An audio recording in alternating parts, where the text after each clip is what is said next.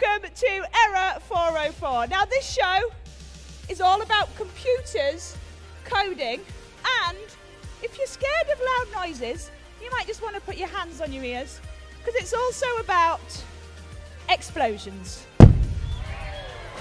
Thank you very much. Now, this fan has been hired from one of the best special effects companies in the business. It's capable of winds of up to 45 miles an hour. It will, I know, it will project our ball with quite some force. So what you're going to have to do, sir, is cycle at the dizzying speed of 12 miles per hour. You can probably run that fast, but for the purposes of this experiment, we're going to do 12 miles an hour. Okay? Are you confident with that? He looks incredibly happy, but before you can do that, that's what's going to set the fan going. Something important needs to happen, Fran. What is it? We need to code it, and you can probably guess how we do this. We just drag in speed reached into if. So if speed reached, then turn on the ridiculously fun giant fan.